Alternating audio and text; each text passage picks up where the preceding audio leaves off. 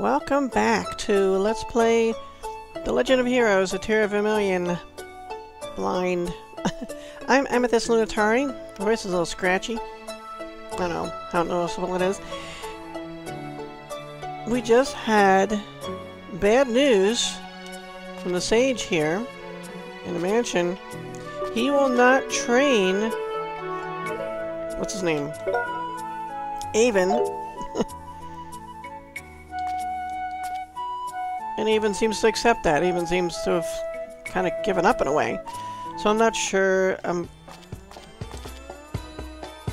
I like the song. I think we're heading back. We have no other choice other than to head back to the city. Uh, and I didn't feel like any of the combat right now, but the superb crabs insist. Right, no. The one we can reach.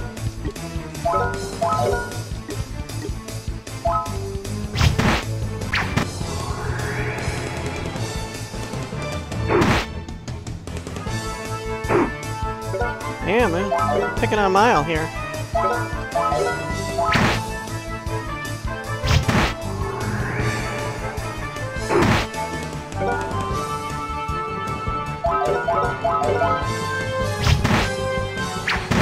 That was a good hit. Oh, they're both are good hits.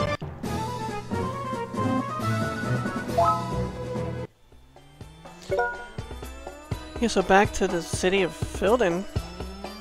Oh, Mile, he need some help here.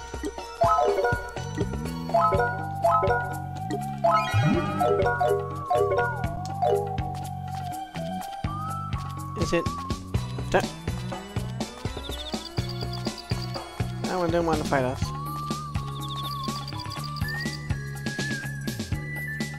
It's like singing. It's like uh, whistling. Get over. Oh, girl's voice says, "You too. Stop." Bossy. Hmm. Uh oh. Avin says, "Who are you?" Dark-haired girl said, "Oh, that's not the one we found in Zaziki Cave." But that looks like one of the bandits, one of the, um, Sam Seal gang. Dark-haired girl says, Are you Avin? Yes, I am. How do you know my name? We are looking for Kabessa. I heard that you would have it. What if I do? Please give it to us. Of course, we'll pay you good money for it. I'm sorry.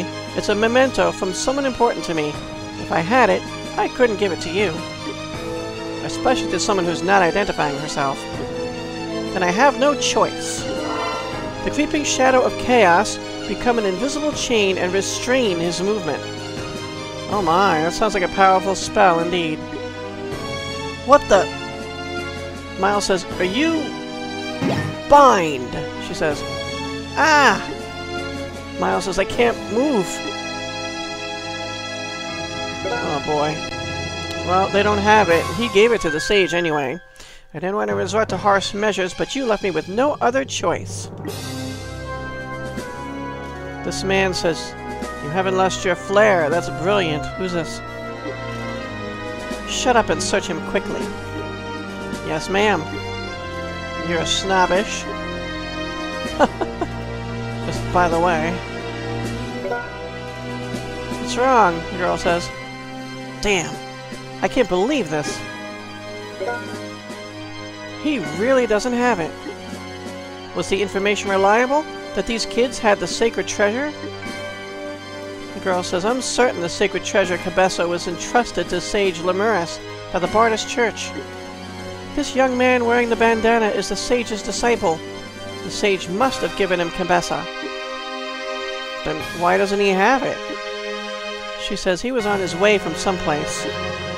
I think we can find Kabessa there. But where was he coming from? You know the three sages of El Phildin, right? There is the mansion of Dinerken, the sage of wisdom. Oh, they've gone to attack the sage. Alright, they're back in the village. Our prince. Mr. Mile, you are the prince of my destiny. I don't know it was coming. When he is in danger, I come to rescue him. And when I'm in danger, he comes to rescue me. I don't think it was you that rescued him. It is our destiny. Yeah, Lumberer Victor says, I'm the one who saved him, though. Father says, your mom is the one taking care of him. Hey, you guys are mean. sure they are. Miles says, Avin, are you alright? Shannon's father says, Oh, your consciousness. You fell in the woods. oh, your consciousness! your, your consciousness has activated. oh, your consciousness! Shannon owes her life to guys.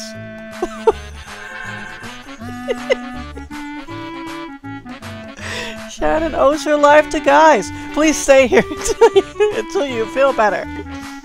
Avin says, thank you. We feel much better now. Yeah, the, the father is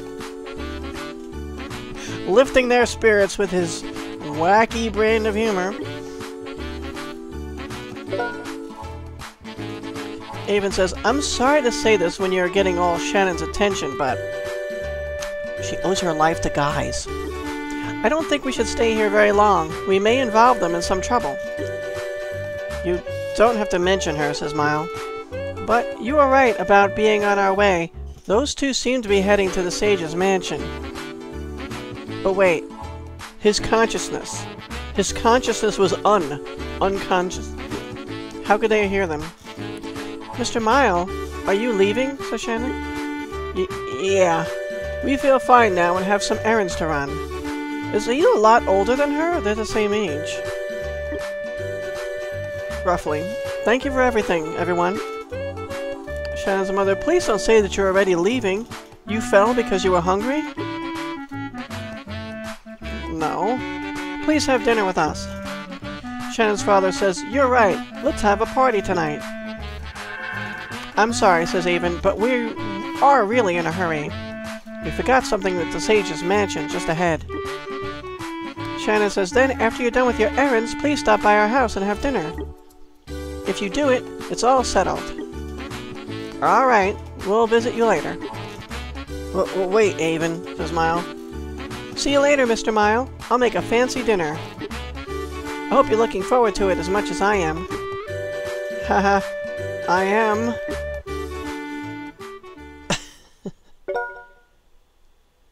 Avin, I won't forget this. Avin says, if I didn't say that, she would have come with us. The issue now is those two people who we encountered a while ago. If we go to Mr. Dinerken's house, we will be beaten up again with that strange spell. Right. Miles says, that spell has a paralysis effect. We will be okay if we have a way to recover. Such as a reeb leaf. Well, we have quite a few of those in our inventory. I see, says Avin. I have a reeb leaf. So let's hurry to Mr. Dinerken's house. Well, someone needs to use it. If you're both unconscious, who's going to grab the reeb leaf? I don't think you guys have thought this through.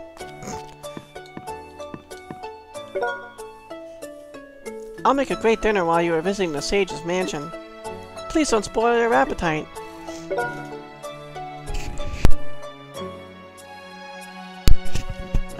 Bon appetit, huh?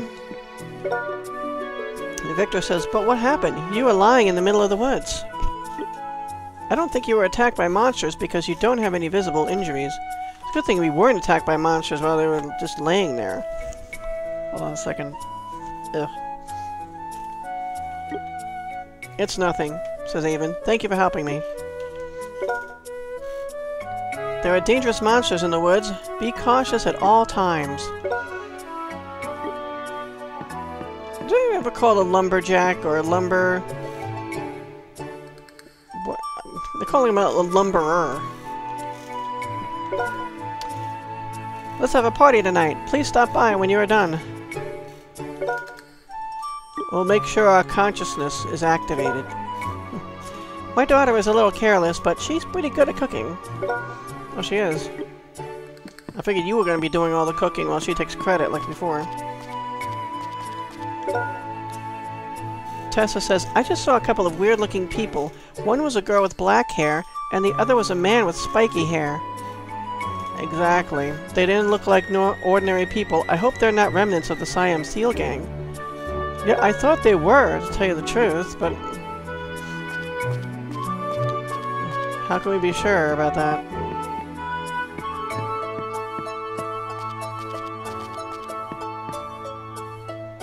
Well, should we rest first?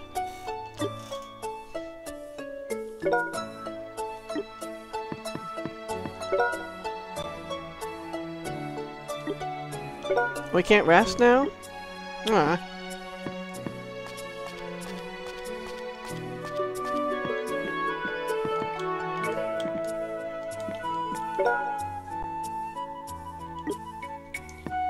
It's funny because I know I just started playing this, but I'm already having like um nostalgic feelings for this song because it was like the opening theme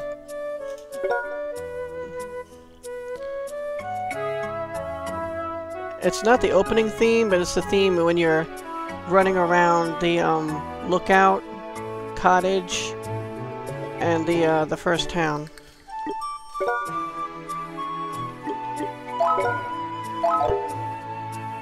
I don't think we need anything. Like, he doesn't have any, like... I mean, we can get some of these special things. But he's not selling any, like, weapons or armor. Unless you count leather stuff as armor. I'll save our money.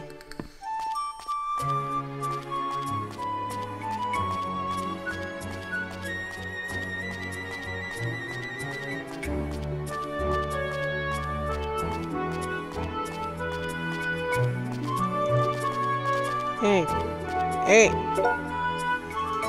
I saw a girl whose hair color was like a crow and a man with a porcupine head going into the woods. You could say she has black hair. Well, the porcupine head is funny, though. I wonder if they're going to go see Grandpa Sage. Mm. Could be. Here comes the Song of Awesomeness again.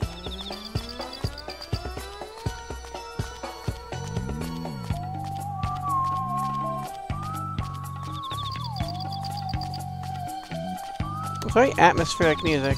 Let's fight this thing, why not? I'm in a mood to bust some crabs' heads. Well, unfortunately I've got one crab and two birds.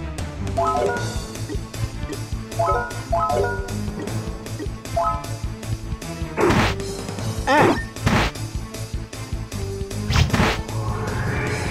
One hit, nice!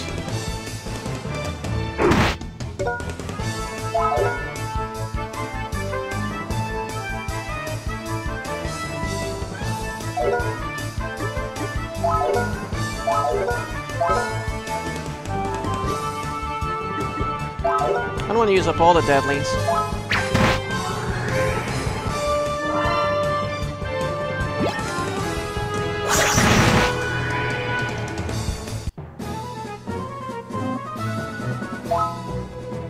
More leather boots.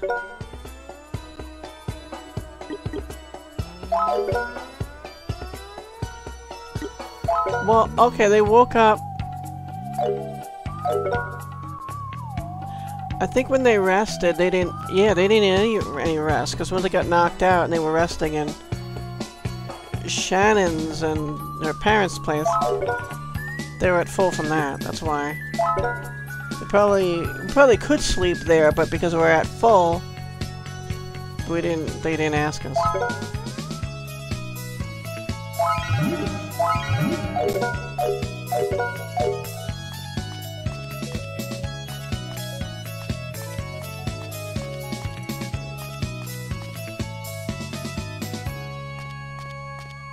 back to rescue Sage Dinerken. If he needs rescuing. Oh, that's not the way. Not the way, not the way.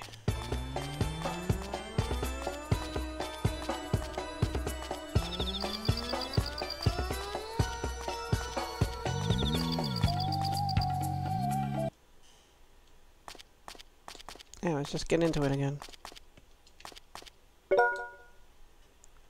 Malia, Sage Dinerken, are you home? Do we knock, ever? there is no answer, Avin. I'm gonna break the door down, says Avin. That's his way of knocking. Well, the black-haired girl, saying, Then you are saying that you won't give us the sacred treasure no matter what? Sage Dinerken says, You are not worthy of the treasure. You couldn't handle it, even if I did give it to you. Please go away. Hey, old man, the man says, Don't be so stubborn. We could just kill you and take Kabessa from you. Ha ha ha. Try it if you want, but don't think that violence is going to solve anything. I'm thinking he's gonna bust loose some spells, Sage Dinerken, isn't he? The man says, if that's how you want it, then that is fine with me. The girl says, knock it off, Bernard. Also, his name's Bernard. Even though he is an enemy, he's still a respectable person. However, Sage Dinerken, don't underestimate the Octum's Apostles. Really? Octum's apostles. Our influence travels so far that we will get you no matter where you go. For example, if we wanted to, we could get Avin too. Speaking of Avin, he's yelling, Mr. Dinerken, we're coming in! Bernard says, Hey, someone's coming! What if we gave her that idea? Maybe this the person yelling we're coming in?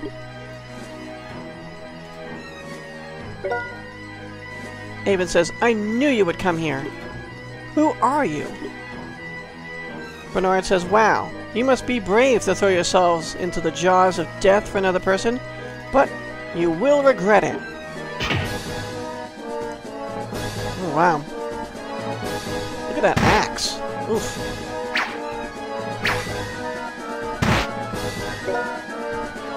Ugh, says Bernard. He is stronger than I thought he was.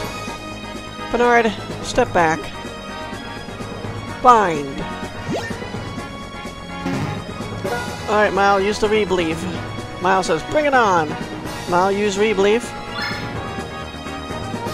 I guess if we didn't have one, we would have... They would have been talking about how we have to get one. So I guess you're prepared. Bernard says, hey, what are we gonna do? Let's retreat for now. I will get the sacred treasure without fail, in the name of Octum's apostles. Wait, says Avin. Sage says, Stop, Avin. It's more dangerous to follow them. Let's go to the living room. There's something I have to tell you. First of all, thank you for your help. I was able to avoid a fight because you guys came to help. Who were those people? says Avin. Looks like they were after Kabessa. Miles says, They call themselves Octum's Apostles. Octum, according to the myth, is an evil god does that have anything to do with them? The sage says, I don't know for sure. You will be happier not knowing some things in this world. There is a possibility that I will put you in danger if I tell you more. Avin says, I am a young, and I may not know much about the world, and I don't even know if I can protect Eimelle. But I... I want to believe that I can. When Eimelle was little, she used to look at me with her shining, innocent eyes and believe in me. Grandpa Lemuras said in his last words that he was proud of me. Even right this moment, I have a friend who supports me. I want to make all of them proud of me, so I will do my best. Sage is laughing for some reason. I envy Sir Lemuras. He was blessed with a wonderful disciple. So you're saying, Avin says, I will tell you everything that I know. It's going to take a while, but listen carefully. Long ago, there was only the light and the darkness in this world.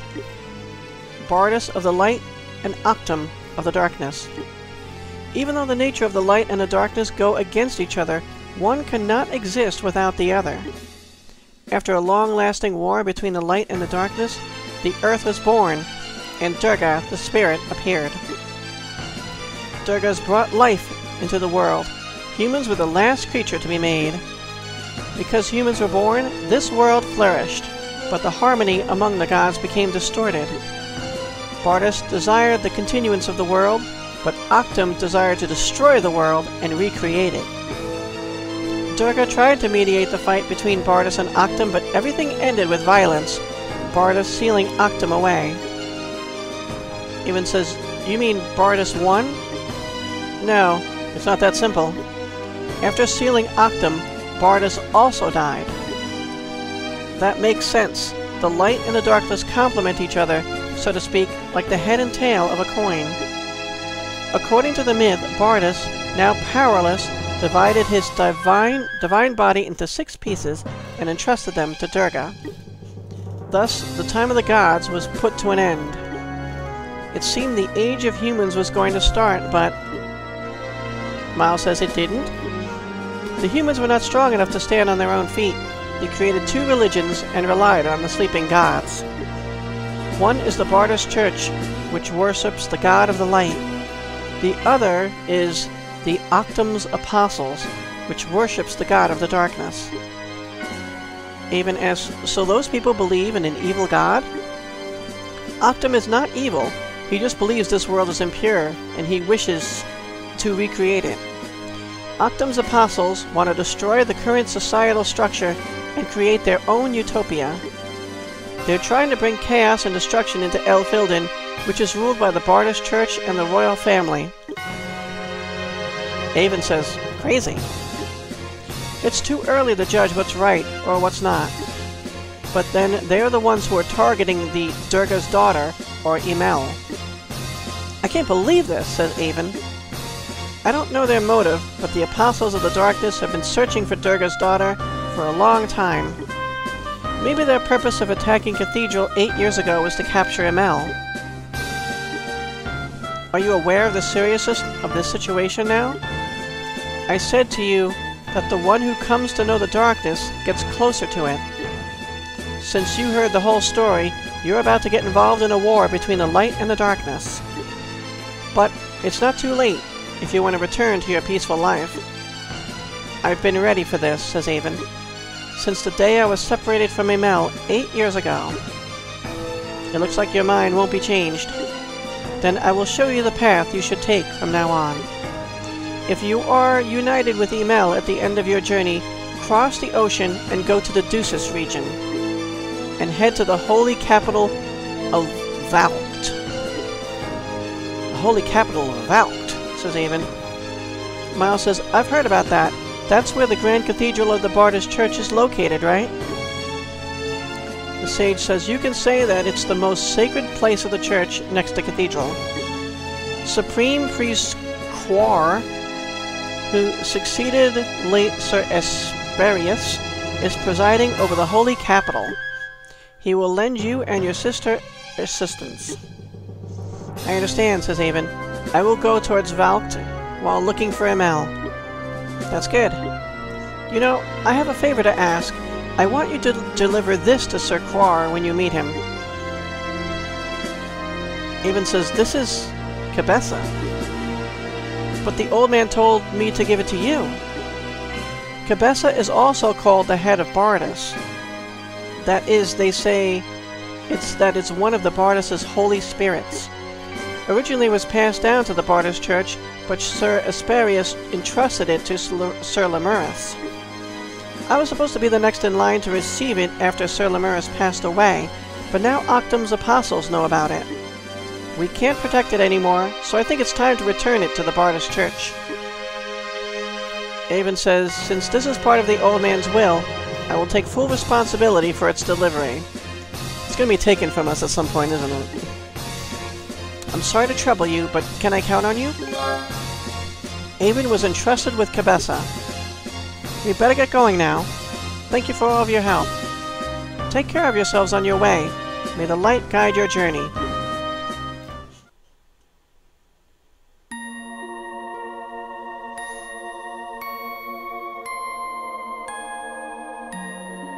Avin and Maya learn of the struggle between light and darkness which has continued from the dawn of time and the cruel fate that is laid upon Eimelle. The daughter of Durga, shaman of the spirit god.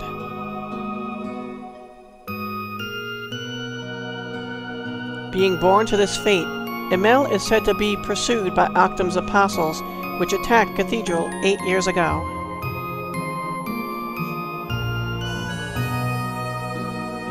Desiring to reunite with Eimelle, Avin vows to protect Eimelle from her fate.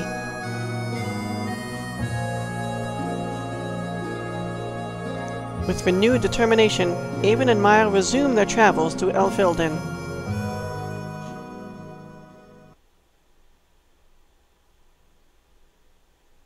Chapter 2 Seeking Traces